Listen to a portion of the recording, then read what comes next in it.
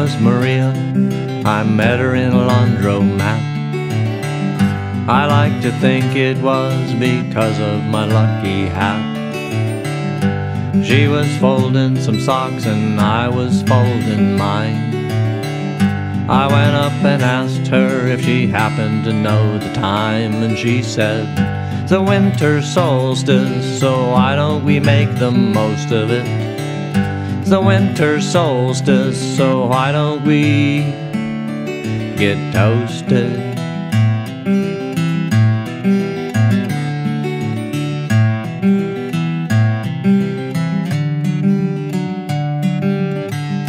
We went outside for a walk, but it started to rain.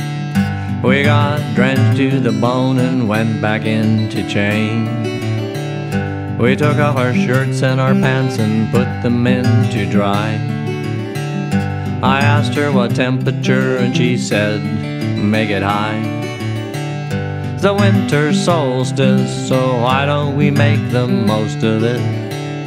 the winter solstice, so why don't we get toasted?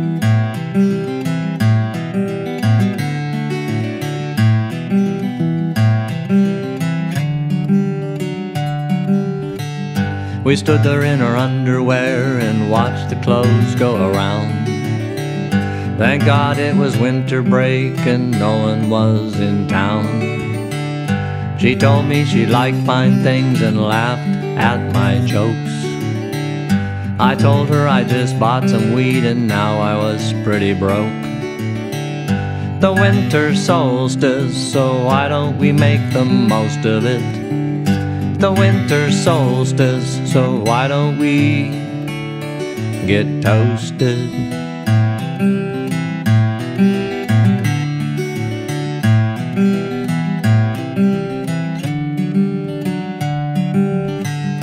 We went back to her place, she poured me some wine.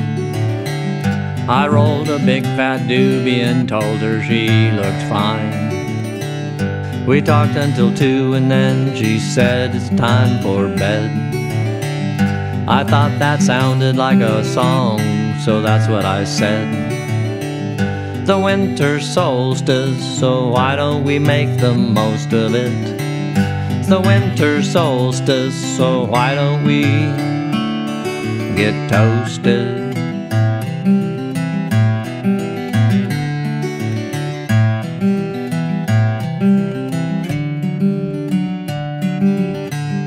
Her name was Maria, I called her the next day. I asked if she wasn't busy, could she come out and play? And that was just the first of many days I had with her. To think it started with socks on the longest night of the year. The winter solstice, so why don't we make the most of it? The winter solstice, so why don't we? It's the winter solstice, so why don't we make the most of it?